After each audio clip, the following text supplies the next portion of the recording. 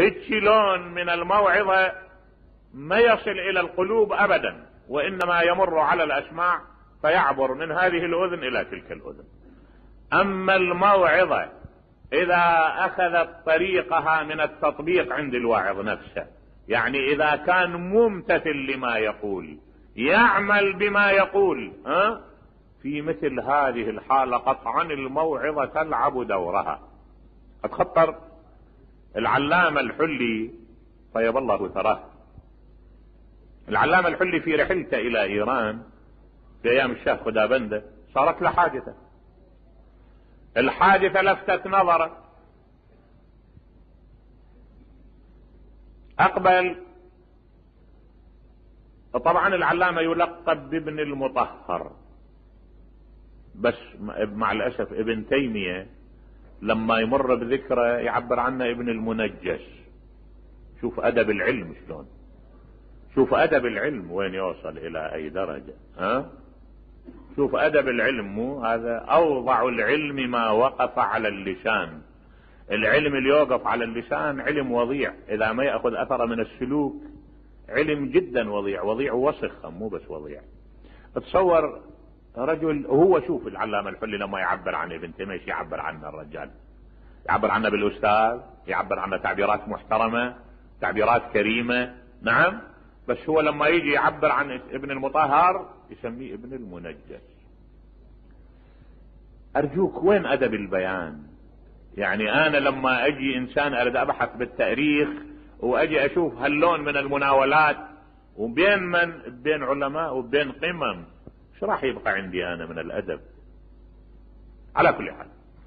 طلع العلامة من مجلس الشاه مر بجامع من الجوامع شاف أكو خطيب على المنبر. هذا من يص من يقرأ خطيب يعني بارع جدا يملك زمام الخطابة. عنده مضمون ثري غني يعني عنده معلومات مو خالي عنده حكايات مثلا لا قف منا ومنا لا عنده مضمون. نبه لي زين؟ يعني عنده علم يمتح من من من شيء غزير يتكلم عنده. عندما يتكلم يأخذ من من وعاء مليء. زين. بس كل ما يتأمل العلامة رحمة الله عليه كلما يتأمل وعظ هذا الرجل مع غزارة علمه مع أن أداء أداء لطيف لكن يريد كلماته تأخذ أثر من النفوس ما. يشوف كلماته تمر مرور عابر سطحي. قام العلامة وهو منفعل. سأل قال لهم هذا الرجل وين بيته؟ قالوا له بيته بالمحلة الفلانية.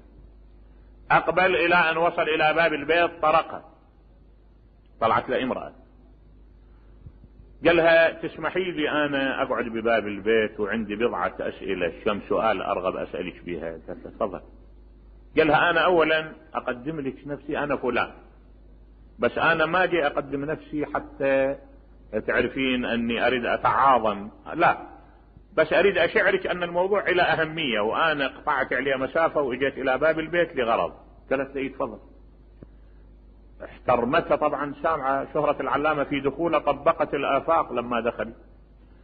فقالت له مولاي على الرحب والسعة شرف الداري قال لها أنا إلي سؤال. هذا الرجل زوجك. أنا أحاول أن أصلحه.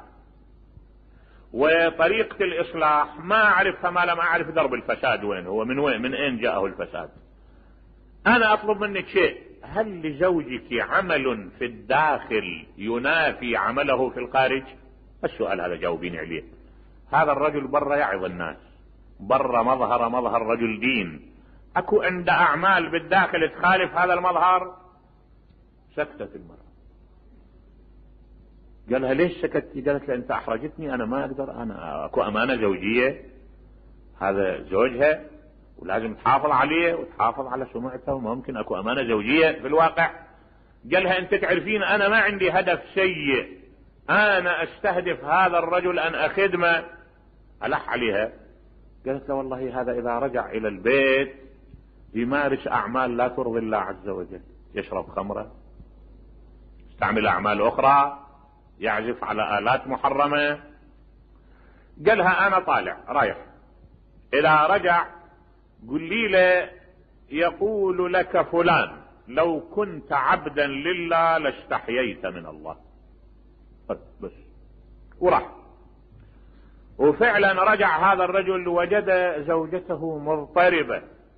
سألها شنو هالاضطراب؟ سببه؟ قالت له لا شيء. ألح عليها؟ قالت له والله القصة هكذا.